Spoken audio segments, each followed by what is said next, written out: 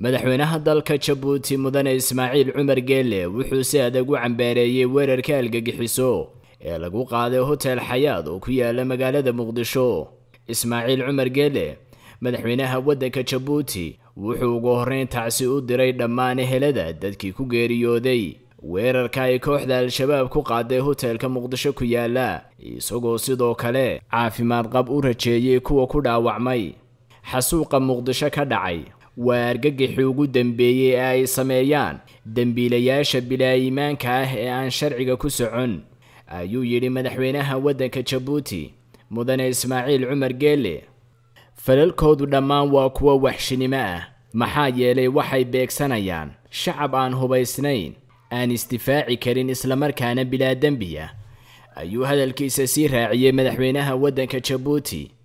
Madaxweynaha waddanka jabuuti wuxuu dhambaalkiisa gaadhsiiyey dheggiisa waddanka soomaaliya xasan sheekh maxamuud oo uu kala hadlay. Weerarka ugu dambeeyey ee magaalada muqdisho ka dhacay. Dhanka kale wuxuu madaxweynuhu ku dheeraaday khatarta kooxaha argagixisadu ay ku hayaan bulshada isagoo sidoo kale bogaadiyey ciidamada soomaaliya oo muddo soddon saacadood kabacdi ah soo afjaray.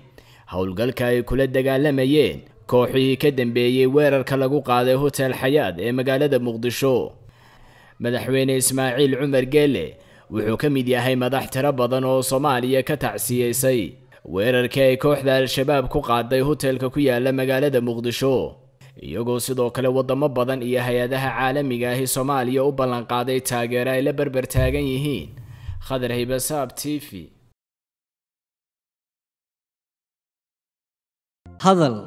oo hadal oo hadal oo ku hadal bishii oo dhan toddoba dollar oo keliya. ku darso fariin kasta oo aad dirtaana waa kuu bilaash.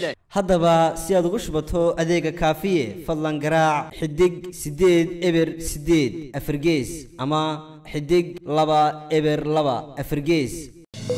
Isticmaal shabakadda ugu ballaadhan geeyiga somalilan